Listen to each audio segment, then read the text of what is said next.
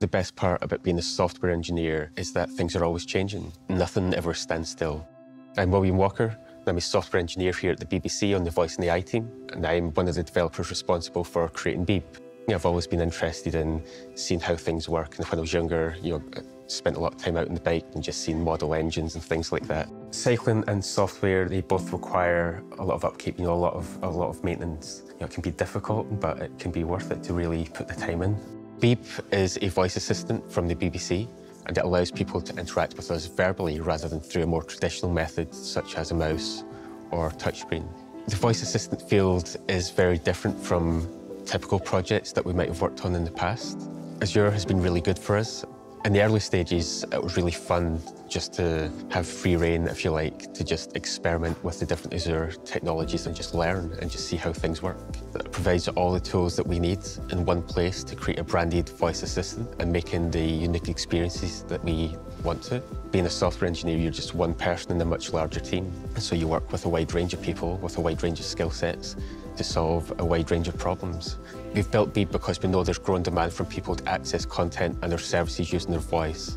We want to have greater control over our brands and create a more robust connection with our audience. So our ambitions with Beeb can't be met by just developing for existing voice assistants on the market. With this one, we saw some challenges around how we create the wake words and how we collect the data to enable that to happen. The UK has a wide range of accents. And so creating Beeb, it's important to us that it can be used by everyone. And that means that we have spent a lot of time developing the wake word to make sure that it can be understood by as wide a range of accents as possible. Our assistant uses Azure Bot Services, which is where it's all set up and configured.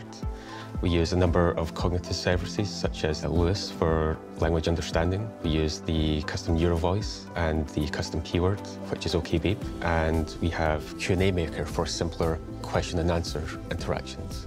The Beeb Client app is a UWP app that runs on Windows. It uses the Azure Bot Services Direct Line Speech Channel, which is a WebSocket connection specifically designed for voice interaction to connect to our assistant. And that's configured with our custom text-to-speech, our custom ASR model, the custom voice. Within our assistant, we rely on a number of internal BBC services to retrieve content.